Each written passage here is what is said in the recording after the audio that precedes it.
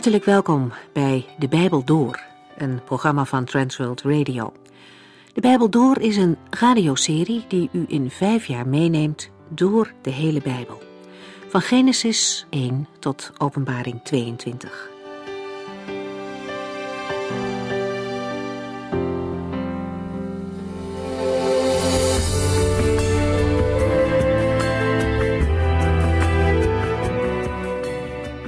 Vandaag zijn we toe aan Matthäus 8, maar we kijken eerst nog even terug naar de vorige aflevering, het slot van de bergreden. In hoofdstuk 7 zagen we de gouden regel van het Koninkrijk van de Hemelen. Daar staat, behandel anderen zoals u wilt dat zij u behandelen. De Heer van het Koninkrijk verwacht van zijn mensen dat ze hun naaste lief hebben. Zonder uitzondering. De Bijbel zegt er niet bij dat dat altijd makkelijk is, maar de opdracht blijft. Gelukkig geeft God deze regel niet zomaar. De versen die ervoor staan geven het geheim prijs, waardoor het mogelijk is anderen goed te behandelen, zelfs als het moeilijk is. Het begint met bidden, met zoeken en aankloppen bij de Vader. Elke dag mogen we Hem vragen om wijsheid en geduld om met de mensen om te gaan die we ontmoeten. Door te bidden voor de mensen waar we niet zo goed mee kunnen opschieten, verandert er wel wat. Meestal het eerst bij onszelf. Door volhardend te bidden gaan we anders kijken naar mensen. De Heer Jezus geeft hier de garantie dat wie zoekt ook vindt. Wie bidt zal antwoord krijgen. En als iemand klopt, dan gaat de deur open. En weliswaar antwoordt God ons wel eens anders dan we zelf zouden willen, maar we kunnen er zeker van zijn dat Hij zich niet vergist. Dan volgen er nog een paar gedeelten waarin het steeds gaat over twee dingen tegenover elkaar. Een brede en een smalle weg. Valse profeten, goede profeten.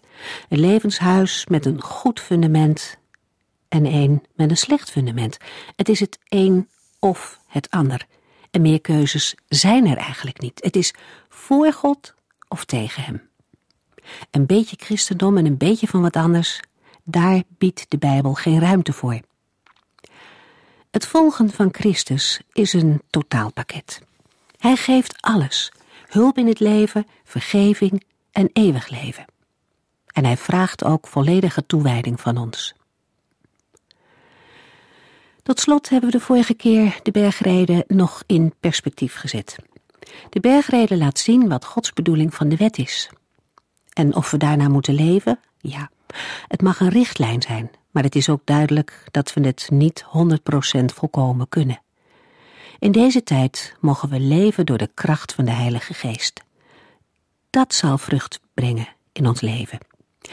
Op het moment dat de koning dan in volle glorie komt en zijn koninkrijk vestigt op de hele aarde, dan zal de bergrede de wet van dat koninkrijk zijn.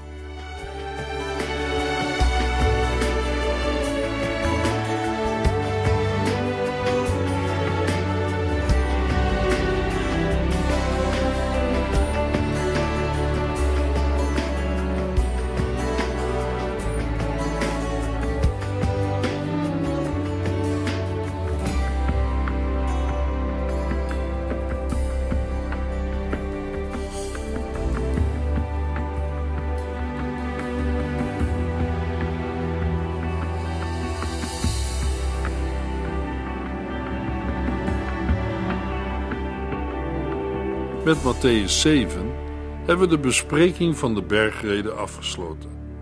In Matthäus 8 wordt verteld hoe de krachten van het koninkrijk openbaar worden. Koning Jezus manifesteert zijn macht en majesteit.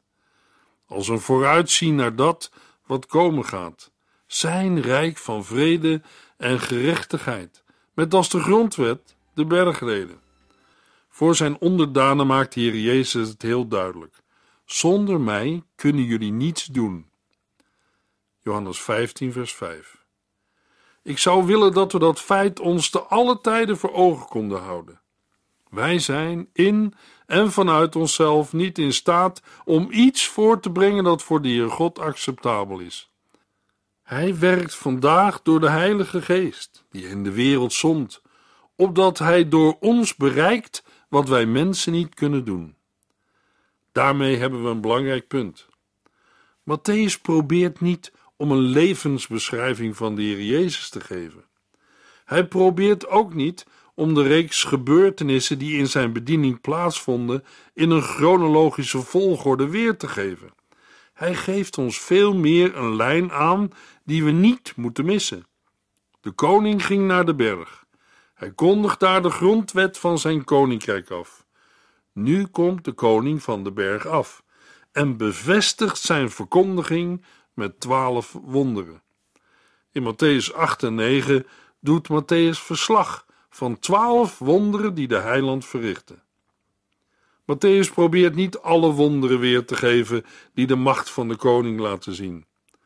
Matthäus geeft ze weer in een ordelijke, logische volgorde. Ik noem de zes wonderen die in Matthäus 8 aan de orde komen. Als eerste de genezing van de Melaatse. In de tweede plaats de genezing van de knecht van een Romeinse officier. In de derde plaats de genezing van de schoonmoeder van Petrus. In de vierde plaats geneest Jezus verschillende mensen die boze geesten hadden. Op nummer 5 staat het stillen van de storm op het meer en op nummer 6 de genezing van twee bezeten mannen. Matthäus 8, vers 1. Jezus ging de berg af en vele mensen liepen met hem mee. Het is duidelijk dat het niet om een paar mensen gaat. Het volk dat zich over de leer van de Heer Jezus had verwonderd, volgde hem nu ook. Ze zouden nu ook wonderen te zien krijgen en zich nog meer verbazen. Is de koning, die met zoveel gezag zijn grondwet heeft afgekondigd, ook in staat om zich met zijn macht te manifesteren onder de mensen? Dat is een belangrijke vraag, ook voor vandaag. Vaak horen wij wel vertellen wat we moeten doen, maar wie komt vertellen hoe wij het moeten doen? Dat is wat we allemaal nodig hebben. De grondwet staat, maar is de koning in staat om zich met zijn macht te manifesteren onder de mensen? Matthäus 8, vers 2. Er kwam een Melaatse man naar Jezus toe.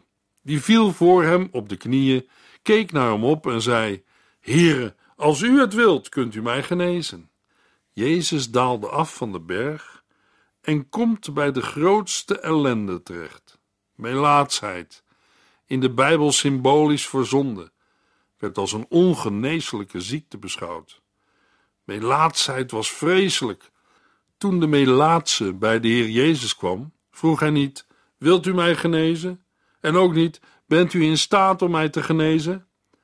Deze Melaatse man had vertrouwen. Hij erkende de heerschappij van Christus. En op grond daarvan zei hij: Heere, als u het wilt, kunt u mij genezen. Wat wij vragen is niet altijd de wil van de Heere. Maar als het zijn wil is, kan hij het doen. Het is belangrijk dat de wil van God eerst komt. Dat is niet altijd even gemakkelijk voor een mens.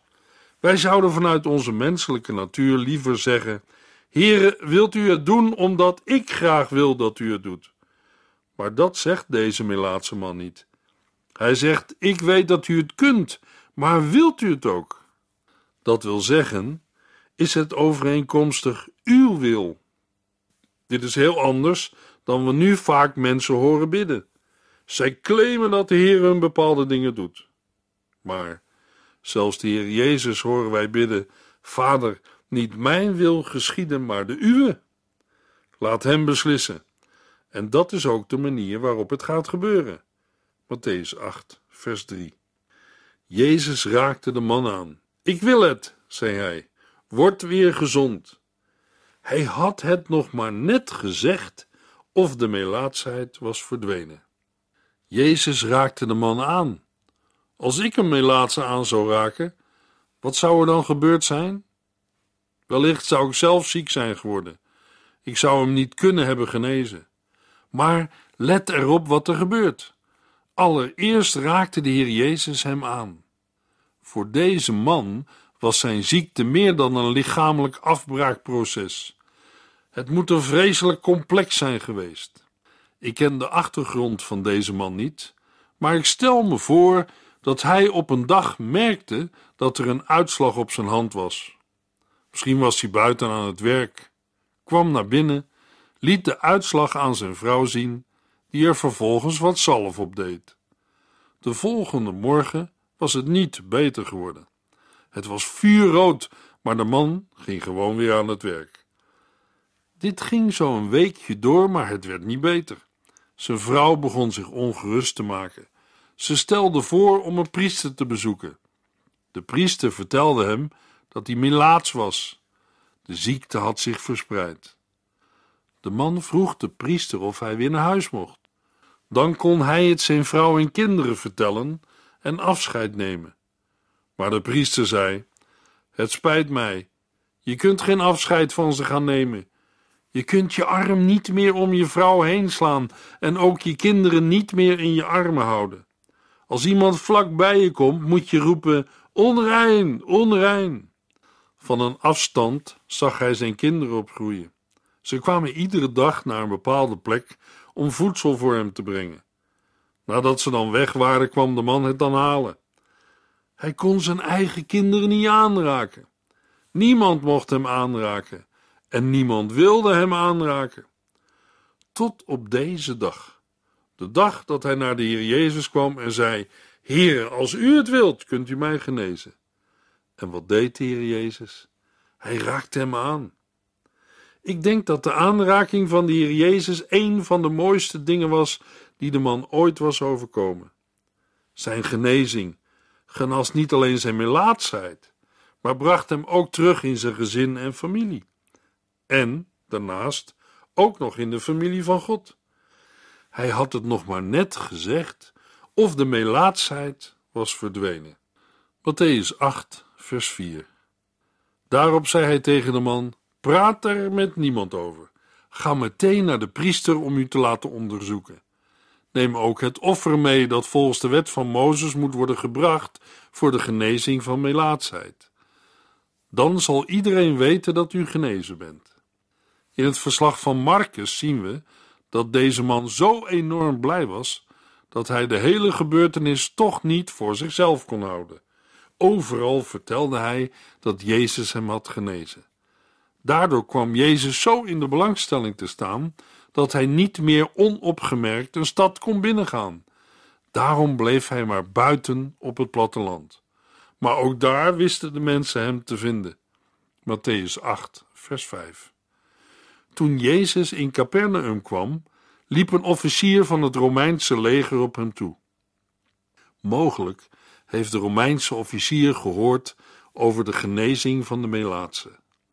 De officier was niet van Joodse afkomst en hoorde bij de niet-Joden, die ook wel heidenen werden genoemd. Hij was bevelhebber over honderd manschappen.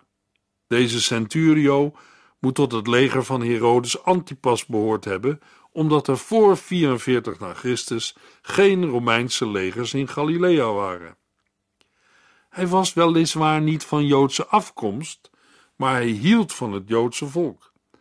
Daarom had hij ook op zijn kosten een synagoge in Capernaum laten bouwen. Volgens Lucas 7 heeft hij enkele Joodse oudsten naar Jezus gestuurd met het verzoek of Jezus iets wilde doen voor zijn zieke knecht. Dat het in het verslag van Matthäus lijkt dat de hoofdman zelf naar Jezus is gegaan, komt omdat Matthäus de gebeurtenis verkort weergeeft. Hoor het verzoek van de officier. Matthäus 8, vers 6 tot en met 9. Hij vertelde dat zijn knecht verlamd in bed lag en verging van de pijn. Hij vroeg of Jezus er iets aan wilde doen. Ja, zei Jezus, zal ik meegaan om hem te genezen? Nee, nee, antwoordde de officier, u hoeft niet bij mij thuis te komen. Daar ben ik niet goed genoeg voor. U kunt gewoon hier blijven. Als u zegt dat mijn knecht beter moet worden, wordt hij beter. Want ik moet doen wat mijn commandant mij opdraagt. En mijn soldaten moeten doen wat ik zeg. Als ik tegen een soldaat zeg: ga, dan gaat hij. Als ik tegen een ander zeg: kom, dan komt hij. En als ik tegen mijn knecht zeg: doe dit eens, dan doet hij het. Zo is het ook met u. Als u zegt dat de ziekte uit mijn knecht moet verdwijnen, gebeurt dat. De officier was in een positie waarin hij gezag herkende. Hij droeg een Romeins uniform en kon tegen een soldaat onder hem zeggen: Doe dit, en hij deed het. Waarom? Vanwege zijn gezag. Hij beschouwde Jezus als de grote gezaghebbende, die een autoriteit bezat die zelfs de Romeinse keizer niet had. Matthäus 8, vers 10. Jezus was verbaasd en zei tegen de mensen om hem heen: Nergens in Israël heb ik iemand ontmoet die zoveel geloof heeft. Er wordt verteld dat bij twee gelegenheden de Heer Jezus Christus zich verbaasde. De eerste keer dat het gebeurde was bij het ongeloof van Israël, en de tweede bij het geloof van deze Romeinse officier. Matthäus 8, vers 11. Ik zeg u dat uit alle delen van de wereld een stroom van mensen het koninkrijk van de hemelen zal binnengaan. Zij zullen met Abraham, Isaac en Jacob aan tafel zitten. Het is belangrijk dat we de Heer horen zeggen dat uit alle delen van de wereld een stroom van mensen het koninkrijk van de hemelen zal binnengaan. Luisteraar, in de tijd dat de heiland dit uitsprak, woonden de meeste van onze voorouders niet in Israël, maar waarschijnlijk in een heel ander deel van de wereld. En hier zegt de Heer Jezus dat de boodschap ook bij hen terecht zal komen, opdat ook zij hem vertrouwen en kunnen aanliggen met Abraham en met Isaac en Jacob in het koninkrijk der hemelen. Wat een geweldige uitspraak. Natuurlijk, ieder mens moet persoonlijk tot geloof komen in Jezus Christus. Niemand kan kerklidmaatschap of familietraditie of het feit dat zijn ouders christenen zijn aanvoeren voor zijn eigen redding. Maar de Heere wil in ieder geval niet dat de mensen verloren gaan. Hij wil dat uit alle delen van de wereld een stroom van mensen het koninkrijk van de hemelen zal binnengaan. Matthäus 8, vers 13.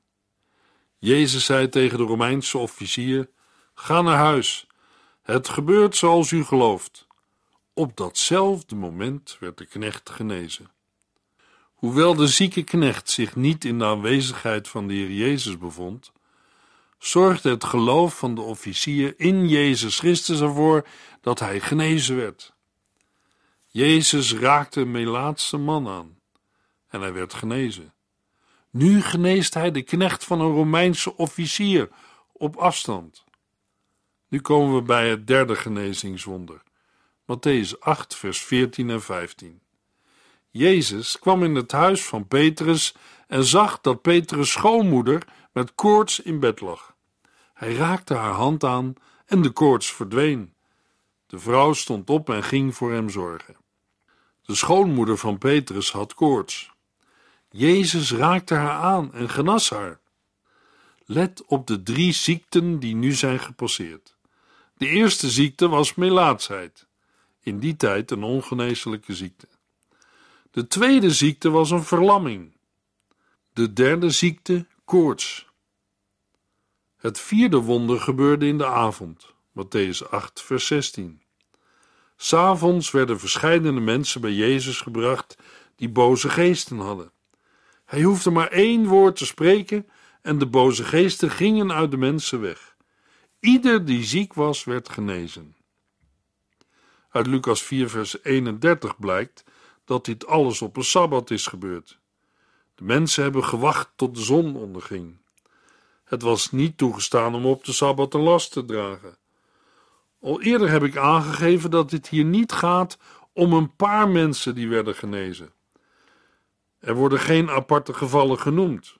Maar als we de verschillende verslagen met elkaar vergelijken, zullen we zien dat Matthäus duidelijk maakt dat Jezus allen genas. Ieder die ziek was, werd genezen. Juist dit feit is de reden dat de vijanden van Jezus nooit hebben betwijfeld of hij wel of niet wonderen heeft verricht. Zijn vijanden vroegen wel steeds in wiens naam hij ze had gedaan. Matthäus 8, vers 17. Daarmee werd werkelijkheid wat de profeet Jezaja had gezegd. Hij heeft onze kwalen op zich genomen en onze ziekten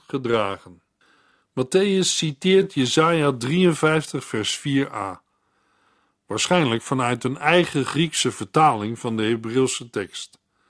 Dat wil zeggen onafhankelijk van de Septuaginta, die het vers heeft vergeestelijkt en laat spreken over zonden in plaats van ziekten. Jesaja 53 spreekt over de leidende knecht des Heren, over de onschuldige, die moet lijden om de schuldigen de vrede te brengen. De shalom, een algeheel welzijn naar geest, ziel en lichaam. Jesaja 53 vers 5. Deze profetie gaat in Jezus in vervulling. Het is een voorsmaak van de toekomende tijd, wanneer de heiland met elke ziekte en zelfs de dood zal afrekenen. De Heer Jezus heeft onze zonden en ziekten weggenomen door ze op zich te nemen in plaatsvervangend lijden en sterven. Maar het was ons leed dat hij droeg. Ons lijden drukte hem neer. Wij dachten dat hij door God geslagen en vernederd was. Hij werd doorstoken en verbrijzeld ter wille van onze zonden. Hij werd zwaar gestraft, zodat wij vrede konden hebben. Hij werd geslagen en daardoor werden wij genezen. Jesaja 53 vers 4 en 5. Waarvan zijn wij genezen? Deze tekst uit Jesaja laat duidelijk horen dat we genezen worden van onze overtredingen en schulden, van onze zonden. Petrus bevestigt dat in 1 Petrus 2, vers 24. Hij heeft onze zonden gedragen in zijn eigen lichaam, toen hij stierf aan het kruis. Daardoor zijn wij nu dood voor de zonde en kunnen wij voortaan leven zoals God het wil. Want de wonden in zijn lichaam hebben ons genezen. Door hem zijn wij genezen van onze zonden. Wij zijn het die als schapen afdwaalden. Wij verlieten Gods paden en gingen onze eigen weg. Desondanks legde God de schuld en zonde van ons allen op hem. Jesaja 53 vers 6 Het waren uw, jouw en mijn zonden die op hem werden gelegd. Het grote fundamentele probleem van ons mensen wordt door Jesaja duidelijk aangegeven: de zonde. Jezus Christus pakt het probleem aan. Hij heeft onze zonde gedragen in zijn lichaam toen hij stierf aan het kruis. Daardoor zijn wij nu dood voor de zonde en kunnen wij voortaan leven zoals God het wil. Want de wonden in zijn lichaam hebben ons genezen. Doen we recht aan het woord van God als we beweren dat genezing in de verzoening is inbegrepen? Kunnen we op grond daarvan genezing bij God claimen, alsof we er recht op hebben? Het is het vergezicht van het baanbrekende koninkrijk van de hemelen. De tijd dat er geen ziekte en geen pijn en geen tranen meer zullen zijn. Maar die zijn er vandaag nog wel. Een gelovige mag uitzien naar de tijd dat de Heer alles nieuw maakt, naar een verheerlijk lichaam zonder gebrek en ziekte, naar een nieuwe aarde waarop Zijn gerechtigheid woont. Maar het is ook duidelijk dat we dat nieuwe nu nog niet hebben. In deze tijd, het laatste der dagen, waarin zonde en Satan nog welig tieren, kunnen we niet ontkomen aan het loon dat de zonde geeft, de dood. Telkens weer worden we geconfronteerd met de laatste vijand en staan we weer aan het graf van een geliefde. Maar dat blijft niet zo. En dat geldt ook voor allerlei ziekten en kwalen. In de weerbarstigheid van het dagelijkse leven kan Paulus bij Timotheus aandringen om wat wijn voor zijn maag te drinken. Is dat een ongelovig advies? En had Paulus aan moeten dringen op het bidden om genezing? Waarom drong Jacobus er bij de gelovigen die ziek waren niet op aan om genezing te claimen, toen hij hen vroeg om de oudste te roepen om voor hen te bidden? Jacobus 5, vers 13 tot en met 15. Wat had Paulus moeten doen toen hij bad dat de doorn in zijn vlees zou verdwijnen? En de Heer antwoordde: Mijn genade is genoeg. Had hij, met eerbied gesproken, moeten gaan staan en zeggen: Dat is niet genoeg. Ik claim genezing, weg met die doorn. Nee, want Paulus zegt zelf in 2 Korinthe 12, vers 7 tot en met 9: De openbaringen die God mij heeft gegeven zijn werkelijk buitengewoon. Maar omdat hij niet wilde dat ik mij daardoor iets zou gaan verbeelden, heeft hij mij pijnlijk laten vernederen door een handlanger van Satan, die mij als met vuisten slaat. Dat kun je een doorn in mijn vlees noemen. Nee, God zal niet toelaten dat ik mij wat ga verbeelden. Drie keer heb ik de Heer gesmeekt dit lijden te laten ophouden. Maar de Heer antwoordde telkens weer: Mijn genade is genoeg voor u. Want kracht ontplooit zich ten volle in zwakheid. Daarom durf ik mij toch op mijn zwakheden te beroemen, omdat dan de kracht van Christus in mij gezien kan worden. We vinden in de Bijbel verschillende voorbeelden van mensen die zeker voor hun genezing hebben gebeden, maar niet of niet direct beter zijn geworden. Wij mogen voor alles bidden, ook om genezing. We mogen God vragen wat we nodig hebben, dankbaar voor alles wat Hij doet. Bijvoorbeeld, prachtig wat Paulus schrijft over Epaphroditus in Filippenzen 2, vers 27. Hij is inderdaad erg ziek geweest. Het scheelde niet veel of hij was gestorven, maar God heeft hem gespaard en mij daarmee een groot verdriet bespaard. We moeten het feit onder ogen zien dat het niet altijd Gods wil is om te genezen. Ik heb een aantal voorbeelden uit de Bijbel genoemd. Maar dat wil niet zeggen dat we niet in genezing op gebed geloven. De levende God geneest nog steeds mensen op gebed, ook vandaag. Zij die genezen, mogen daarmee zijn naam verheerlijken. Het zijn de tekenen van het koninkrijk die de verkondiging van het evangelie bevestigen. We sluiten af met de woorden van de Melaatse man uit vers 2. Hij zei: Heere, als u het wilt, kunt u mij genezen. Daarmee ontvangt de Heer God alle eer. In de volgende uitzending gaan we verder met het lezen en de bespreking van Matthäus 8.